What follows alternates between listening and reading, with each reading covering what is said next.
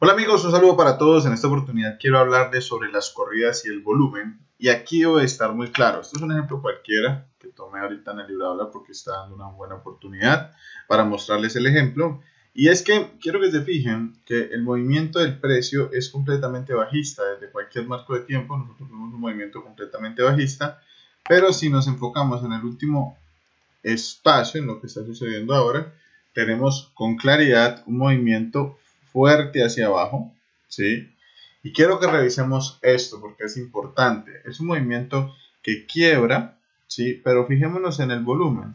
Es un volumen que a pesar de estar en una hora que es la hora de Londres, no es un volumen muy potente. Sin embargo, en la parte de abajo encontramos nuevamente una vela, eh, a pesar de que es verde, bajista y todas las cosas, con mucho más volumen y peso empieza a retroceder. ¿Qué es importante tener en cuenta aquí? Que podemos tomar posiciones desde esta zona inferior hasta esta zona superior, pero van a ser posiciones de mayor riesgo. En días como este, en el que el mercado no retrocede a buscar esta zona para seguir cayendo, cosa que está un poco más difícil de que suceda porque el volumen aquí no es muy fuerte, mientras que en esta zona sí es un poco más fuerte. Eh, sin embargo, pues hay que esperar a que se desarrolle. Eh, podríamos buscar algún tipo de retroceso que fuera en contratendencia y tratar de capturar algunos pips. Entonces, fíjense, pongo el order block de una hora aquí, lo marco, este sería mi order block de una hora. En el movimiento bajista, tendremos en cuenta que es bajista 100% y lo que estaríamos tratando de capturar es un movimiento de retroceso, cuestión que es más difícil de hacer. Ahora, voy a ir a un marco de tiempo de 15 minutos. Y fíjense lo que está sucediendo en el marco de tiempo de 15 minutos. En el marco de tiempo de 15 minutos, cuando el precio llega acá a esta zona inferior, tenemos un movimiento de parada fuerte, ¿sí? divergencia, la podemos visualizar, voy a poner un poquito más aquí al lado, eh, divergencia, ¿por qué? Porque hace mínimos nuevamente y aquí el RSI empieza a ir hacia arriba y tenemos aumento de volumen, volumen que hace ir el precio hacia arriba. Perfecto con buen volumen. Ahora, si yo voy a un marco de tiempo de 5 minutos para visualizar esto, ah bueno, me quedan 15 minutos para mostrarles una cosita. Tengo eh, un imbalance que no ha sido llenado aquí, pueden colocar su indicador de imbalances, aquí está. Un imbalance que no se ha llenado y un order block, obviamente, que generó este movimiento alcista y a pesar de que no rompió, luego sí lo generó. Entonces, fíjense que este order block de aquí ya fue mitigado, ya fue retesteado una vez y dos veces y no fue lo suficientemente potente como para seguir hacia arriba. Yo puedo refinar en marcos de tiempo más pequeños, en un marco de tiempo de 5 minutos en este caso, un order block que tiene mucha fuerza en la subida, fíjense esto, tiene mucha fuerza en la subida, y luego el retroceso viene perdiendo fuerza. Es un mercado lateralizado, bastante interesante para los que entendemos el mercado. Para los que no entienden el mercado, simplemente es un precio aburrido en el que no hay nada que hacer y terminan o no tomando posiciones o saliéndose de las posiciones que tienen.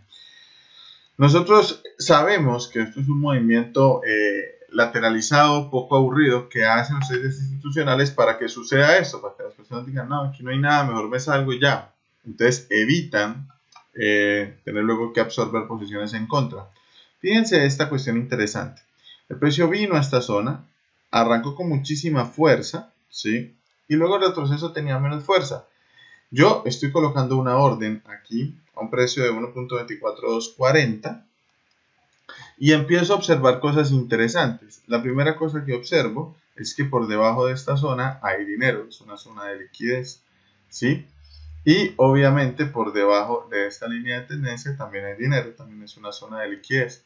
Entonces es probable que el precio, al no haber mitigado este order block, venga y mitiga el order block y posiblemente genere una reacción. ¿Hasta dónde podría irme con esa reacción? Pues es muy sencillo.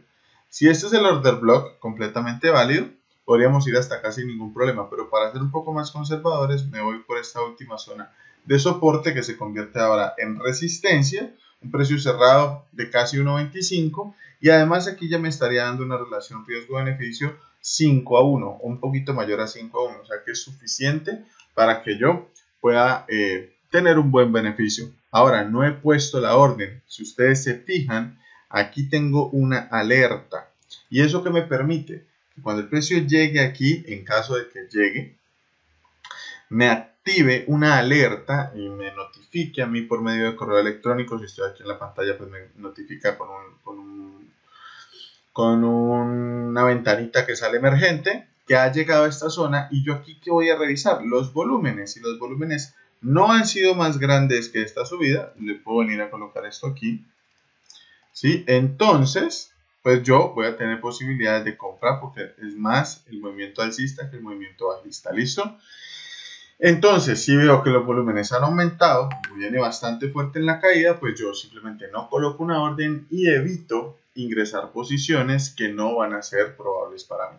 Así que siempre, por favor, antes de colocar una orden, revisen los volúmenes del movimiento de quiebre, del movimiento de retroceso y tengamos en cuenta esto para no caer en esas trampas. Siempre revisen quiebres de estructura en zonas de oferta y demanda que sean fuertes, en order blocks que no hayan sido mitigados o retesteados y prueben esto muchísimas veces. Compartan el video, coméntenme qué más quieren que nosotros les enseñemos. Suscríbanse al canal de YouTube. Somos cada vez más y estamos muy felices de poderles entregar todo este contenido. Y nos vemos en una próxima. Entonces, un Giga Trade. Saludito para todos y chao, chao.